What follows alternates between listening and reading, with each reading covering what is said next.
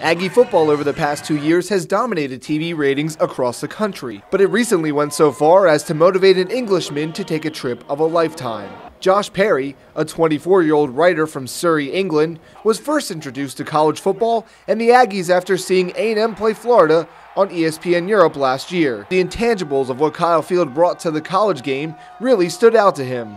I was completely blown away with the, with the atmosphere, Kyle Field. Uh, it was something that I'd, I'd never really seen before. From then on, I was like, I need to go write about this place. This place is special. His book will be titled A Journey of an Englishman in Aggieland that will not only describe his stories of midnight yell practice and all of the home games, but will paint a picture for the culture of College Station and their passion for the sport. The book will also help shape the misconception of what people in the UK think about college football. They see 100,000 people in a stadium for, for essentially what is kids playing an amateur sport. You just have to watch, watch someone like Johnny Manziel do his thing and realise it's not just that, it's so much more. Hopefully with the book, that, that will help them to get their heads around it really. What he sacrificed to get here wasn't easy. To live in the cheapest hotels, walking to and from everywhere he goes, living on a tight budget, where he must monitor what he pays for food so he can afford to buy a ticket every Saturday.